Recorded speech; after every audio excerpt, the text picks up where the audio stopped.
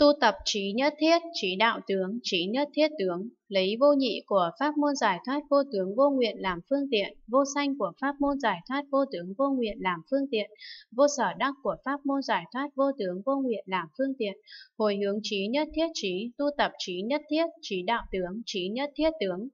Khánh hỷ nên biết lấy vô nhị của pháp môn giải thoát không làm phương tiện, vô sanh của pháp môn giải thoát không làm phương tiện, vô sở đắc của pháp môn giải thoát không làm phương tiện, hồi hướng trí nhất thiết trí, tu tập tất cả pháp môn đà la ni, tất cả pháp môn tam ma địa, lấy vô nhị của pháp môn giải thoát vô tướng vô nguyện làm phương tiện, vô sanh của pháp môn giải thoát vô tướng vô nguyện làm phương tiện, vô sở đắc của pháp môn giải thoát vô tướng vô nguyện làm phương tiện, hồi hướng trí nhất thiết trí, tu tập tất cả pháp môn Đà La Ni, tất cả pháp môn Tam Ma Địa.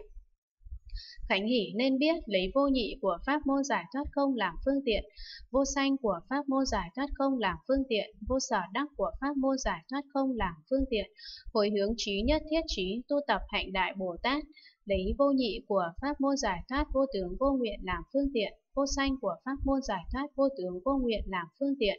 vô sở đắc của pháp môn giải thoát vô tướng vô nguyện làm phương tiện, hồi hướng trí nhất thiết trí, tu tập hạnh đại Bồ Tát. Khánh hỷ nên biết lấy vô nhị của pháp môn giải thoát không làm phương tiện, vô sanh của pháp môn giải thoát không làm phương tiện, vô sở đắc của pháp môn giải thoát không là phương tiện, hồi hướng trí nhất thiết trí, tu tập quả vị giác ngộ cao tột, lấy vô nhị của pháp môn giải thoát vô tướng vô nguyện làm phương tiện, vô sanh của pháp môn giải thoát vô tướng vô nguyện làm phương tiện, vô sở đắc của pháp môn giải thoát vô tướng vô nguyện làm phương tiện, hồi hướng trí nhất thiết trí, tu tập quả vị giác ngộ cao tột, Khánh hỷ nên biết lấy vô nhị của năm loại mắt làm phương tiện, vô sanh của năm loại mắt làm phương tiện, vô sở đắc của năm loại mắt làm phương tiện, hồi hướng trí nhất thiết trí, tu tập bố thí, tịnh giới, an nhẫn, tinh tấn, tịnh lự, bát nhã, ba la, mật đa, lấy vô nhị của sáu phép thần thông làm phương tiện, vô sanh của sáu phép thần thông làm phương tiện, vô sở đắc của sáu phép thần thông làm phương tiện, hồi hướng trí nhất thiết trí, tu tập bố thí, tịnh giới, an nhẫn, tinh tấn, tịnh lự, bát nhã, ba la, mật đa. Khải nhỉ nên biết lấy vô nhị của năm loại mắt làm phương tiện, vô sanh của năm loại mắt làm phương tiện, vô sở đắc của năm loại mắt làm phương tiện, hồi hướng trí nhất thiết trí, an trụ pháp không nội, pháp không ngoại, pháp không nội ngoại, pháp không không, pháp không lớn, pháp không thắng nghĩa, pháp không hữu vi, pháp không vô vi, pháp không rốt giáo, pháp không không biên giới, pháp không tàn mạn, pháp không không đổi khác, pháp không bản tánh, pháp không tự tướng, pháp không cộng tướng, pháp không tất cả pháp, pháp không chẳng thể nắm bắt được, pháp không không tánh, pháp không tự tánh, pháp không không tánh tự tánh, lấy vô nhị của sáu phép thần thông làm phương tiện, vô sanh của sáu phép thần thông làm phương tiện, vô sở đắc của sáu phép thần thông làm phương tiện, hồi hướng trí nhất thiết trí, an trụ pháp không nội cho đến pháp không không tánh tự tánh. Khánh nghỉ nên biết đấy vô nhị của năm loại mắt làm phương tiện, vô sanh của năm loại mắt làm phương tiện, vô sở đắc của năm loại mắt làm phương tiện, hồi hướng trí nhất thiết trí, an trụ chân như pháp giới pháp tánh, tánh chẳng hư vọng, tánh chẳng đổi khác, tánh bình đẳng, tánh ly sanh, định pháp, trụ pháp, thật tế, cảnh giới hư không, cảnh giới bất tư nghỉ, lấy vô nhị của sáu phép thần thông làm phương tiện, vô sanh của sáu phép thần thông làm phương tiện, vô sở đắc của sáu phép thần thông làm phương tiện, hồi hướng trí nhất thiết trí, an trụ chân như cho đến cảnh giới bất tư nghỉ.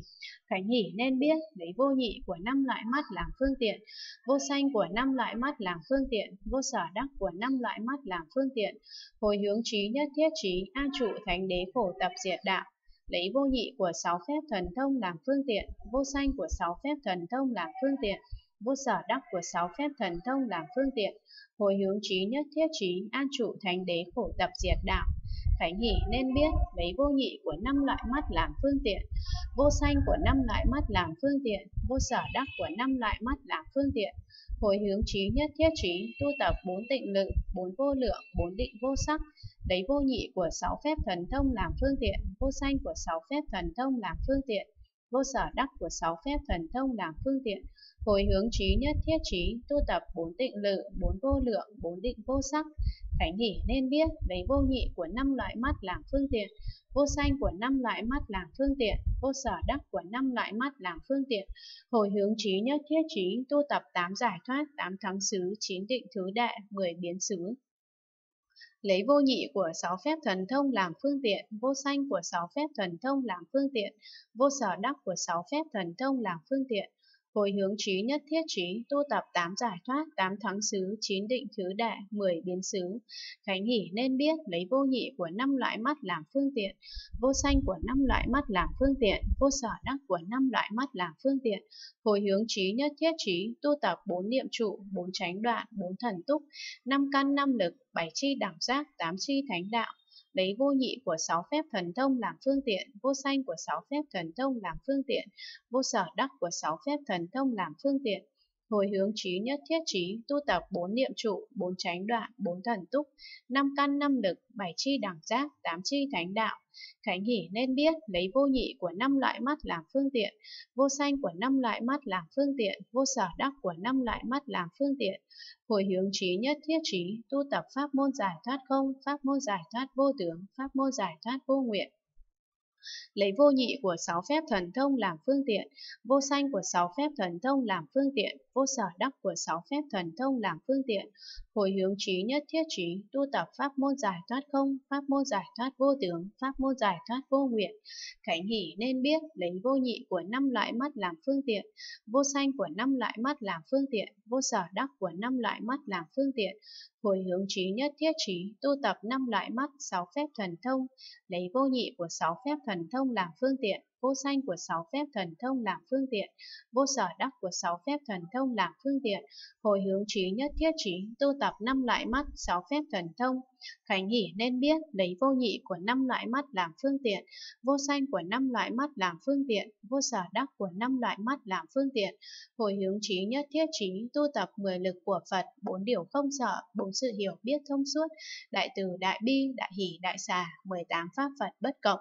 lấy vô nhị của sáu phép thần thông làm phương tiện, vô sanh của sáu phép thần thông làm phương tiện, vô sở đắc của sáu phép thần thông làm phương tiện, hồi hướng trí nhất thiết trí, tu tập mười lực của Phật, bốn điều không sợ, bốn sự hiểu biết thông suốt, đại từ, đại bi, đại hỷ, đại xả, 18 pháp Phật bất cộng. Khánh hỷ nên biết lấy vô nhị của năm loại mắt làm phương tiện, vô sanh của năm loại mắt làm phương tiện, vô sở đắc của năm loại mắt làm phương tiện, hồi hướng trí nhất thiết trí, tu tập pháp không quên mất, tánh luôn luôn xả, lấy vô nhị của sáu phép thần thông làm phương tiện, vô sanh của sáu phép thần thông làm phương tiện, vô sở đắc của sáu phép thần thông làm phương tiện, hồi hướng trí nhất thiết trí, tu tập pháp không quên mất, tánh luôn luôn xả. Khánh hỷ nên biết lấy vô nhị của năm loại mắt làm phương tiện, vô sanh của năm loại mắt làm phương tiện, vô sở đắc của năm loại mắt làm phương tiện, hồi hướng trí nhất thiết trí, tu tập trí nhất thiết, trí đạo tướng, trí nhất thiết tướng. Lấy vô nhị của sáu phép thần thông làm phương tiện, vô sanh của sáu phép thần thông làm phương tiện, vô sở đắc của sáu phép thần thông làm phương tiện, hồi hướng trí nhất thiết trí, tu tập trí nhất thiết, trí đạo tướng, trí nhất thiết tướng.